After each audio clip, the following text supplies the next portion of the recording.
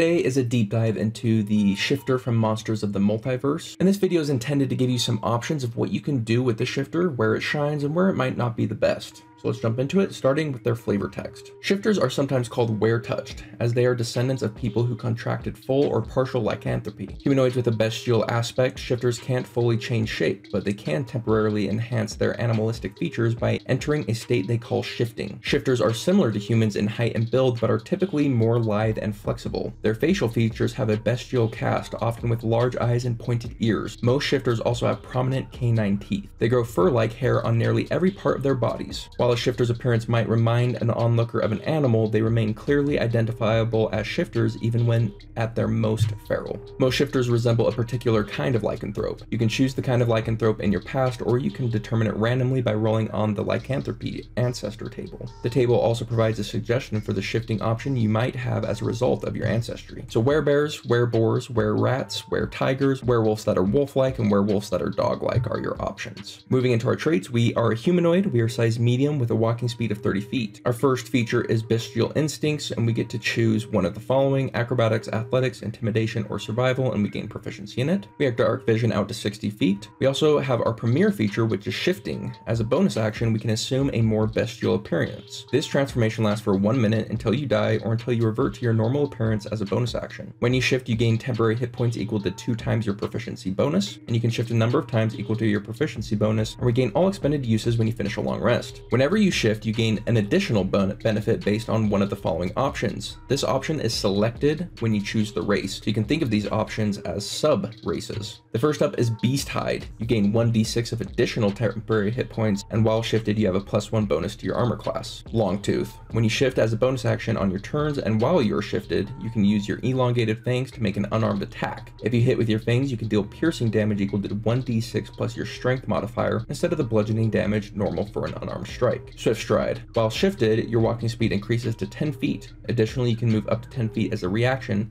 when a creature ends its turn within 5 feet of you. The reactive movement doesn't provoke opportunity attacks. Wild Hunt. While shifted, you have advantage on wisdom checks, and no creature within 30 feet of you can make an attack roll with advantage against you unless you're incapacitated. So let's jump into each of these individually. So Beast Hide is straight boosting our defenses. So if we are a good tank, this makes us a better tank. If we know how to incentivize our enemies to attack us, this can go a long way. So someone like an Ancestral Guardian's Barbarian really stands out here. And on top of that, it gives us the plus one AC, which is fantastic. On top of temporary hit points, it's actually a really good defensive boost. Next up is Longtooth. Longtooth is for strength-based strikers who don't normally get their bonus action attack. Paladin really comes to mind here, but any fighter or any barbarian who isn't getting a bonus action attack, this can really shine with. And it's actually really nice to take care of that issue because we usually want to find some way to do a bonus action attack, and this is a very low investment way to make that happen. Next up is the Swift Stride. This one is all about harrying your foes. It's all about mobility. So this is the one for casters. This is the one for your archers. And it's kind of an interesting nuance because you can't use your bonus action once you're already pressured. You have to pre-predict it. So you use your bonus action if you're like, okay, this is the type of fight where I think I'm going to be pressured, use it, and then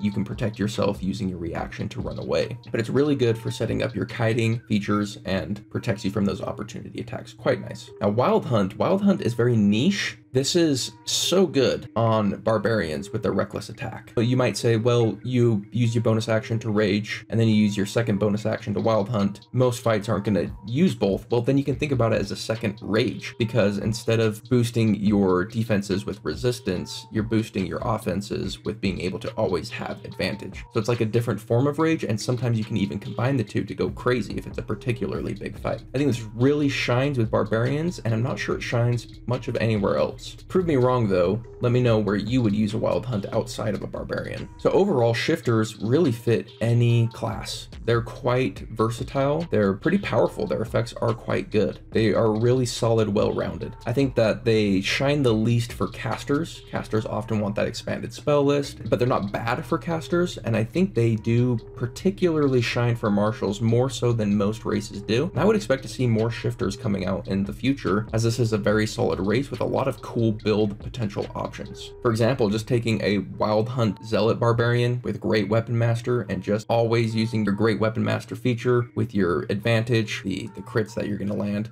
It all just really fits. It's such a simple build, but that's a pretty powerful barbarian, and it takes three ingredients. That's the power of shifter. But what I want to know is how you guys would use your shifter. What kind of build would you do with your shifter? Let me know in the comments down below. We've done a whole bunch of racial deep dives that you can check out here. And with that, I just hope you have yourselves a wonderful day and I will see you on the next one. Later.